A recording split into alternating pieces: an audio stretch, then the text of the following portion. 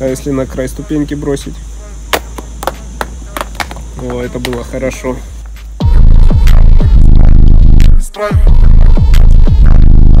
Привет, ребята! Очередная небольшая посылочка у меня на столе. Давайте скорее вскроем и посмотрим, что в ней внутри.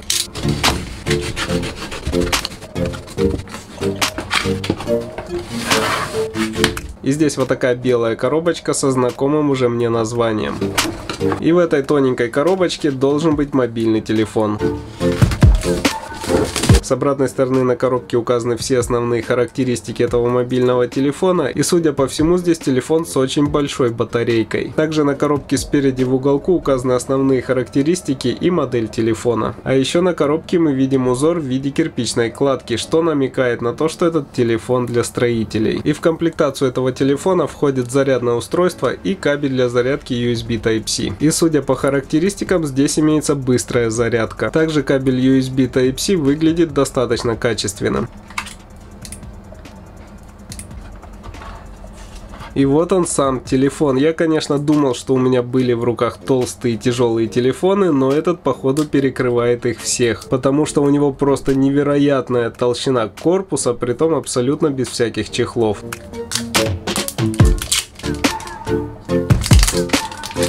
И первая надпись на корпусе, которую я нашел, это защита от воды. Значит, телефон не боится погружения под воду. И мы в этом видео это проверим. Также с другой стороны есть надпись, то что этот телефон не боится падений. Поэтому мы его немного побросаем. Ну а для начала его надо включить и отклеить пленочку с экрана. Притом на экране было наклеено две пленочки. Одна защитная, а вторая рекламная. И да, несмотря на то, что я только что отклеил эту пленку и пытался приклеить назад, уже идеально ее назад приклеить у меня не получается. Под нее попал какой-то воздух и какая-то грязь. Поэтому я решил убрать пленку с экрана и непосредственно сам экран протестировать на царапины. То есть буду об него тереть ключи и мы посмотрим, как он будет сопротивляться царапинам.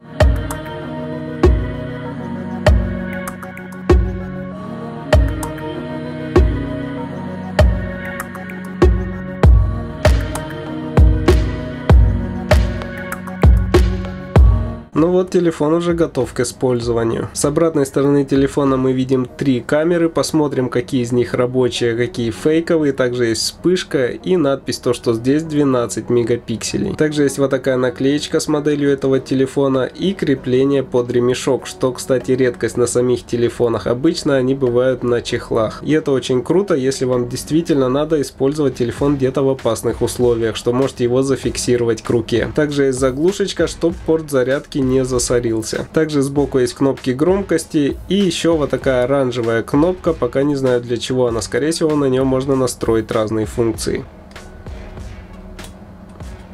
Обратите внимание, что слот для установки сим-карты и карты памяти вытаскивается всего лишь с помощью ногтя, вам не нужен специальный инструмент для этого. Также из защиты здесь прорезиненные углы на телефоне, то есть при падении должно все быть нормально. И первое, с чего я хочу начать тест, это камера.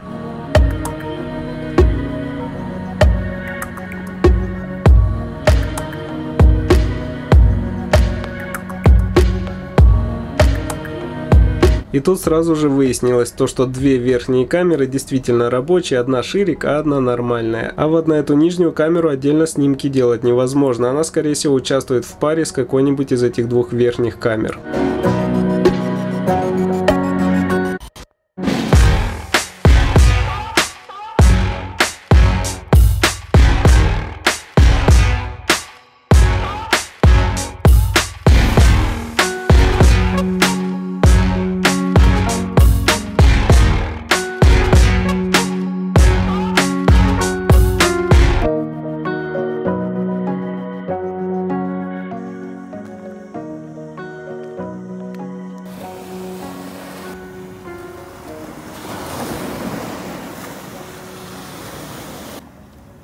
Ну что, ребят, пошли поплаваем немного в море с этим телефоном.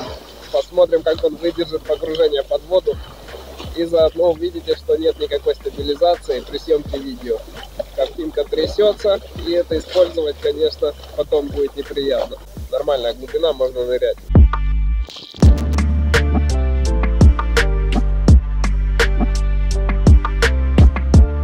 Но я думаю, это не страшно для телефона, который предназначен в основном для стройки. Так что самое главное, чтобы он хорошо держал зарядку, выдерживал погружение под воду и не боялся ударов.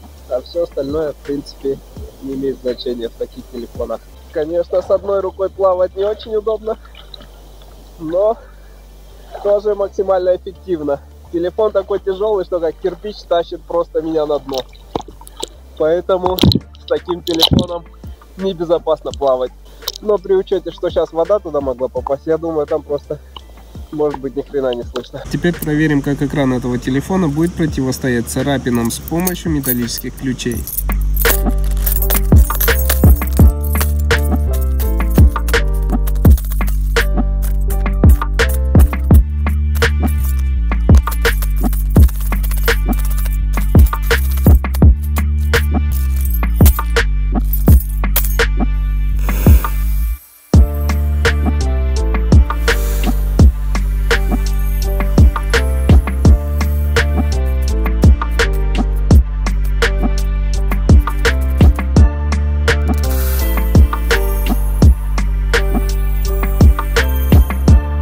Как мы видим, экран отлично противостоит царапинам. Теперь побросаем телефон на твердые поверхности. И для этого я выбрал вот эту локацию. Здесь есть ступеньки, также бетон с камнями и мрамор. Это все твердые поверхности, достаточно для того, чтобы проверить телефон на ударопрочность. И начнем, пожалуй, с бетона с камнями. Как мы видим, телефон еще рабочий пока что.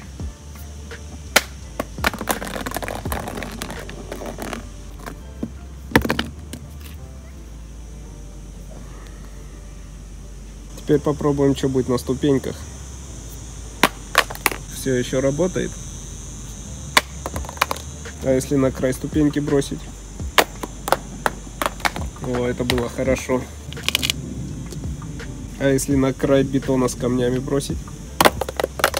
Так, а если бросить на трубу? Все еще работает. Теперь на мрамор. Может не той стороной упал. Давайте бросим экраном вниз. Надо повыше подбросить. Телефон уже весь грязный, но дисплей все еще работает. И даже на дисплее нет никаких царапин.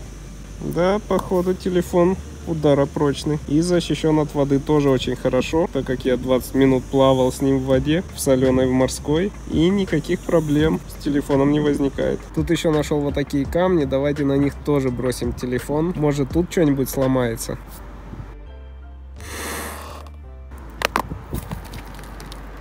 Ой, хорошо как полетел, мне очень нравится. Не, работает нормально все. Может еще разок?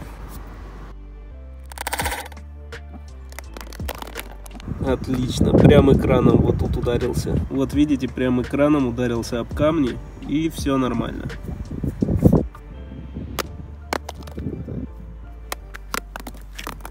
Опять экраном ударился. Экран работает, а вот кнопочки громкости вмялись внутрь. И они больше не нажимаются. Придется выравнивать. Ну вот я уже вернулся с тестов и как мы видим экран отлично справился со всеми падениями и ключами экран тоже не удалось поцарапать, хотя если внимательно присмотреться, то какие-то маленькие царапинки все-таки есть, но они незначительные. И по сути главная проблема образовалась с кнопками громкости, так как вот эта панелька помялась, придавила кнопки и теперь они не нажимаются. Также появилась вмятина и посередине, но она ни на что не влияет, но ее хотелось бы тоже выровнять. Благо здесь есть винты под звездочку и ее можно открутить.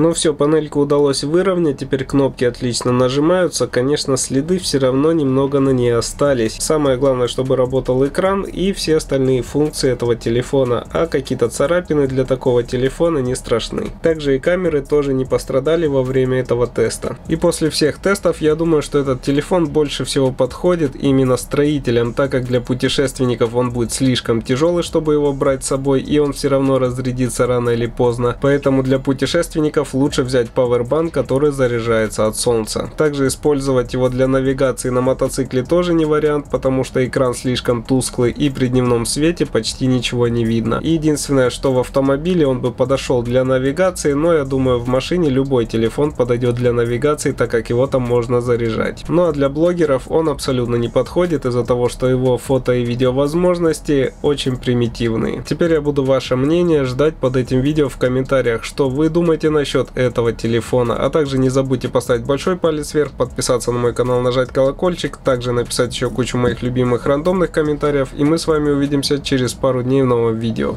Пока.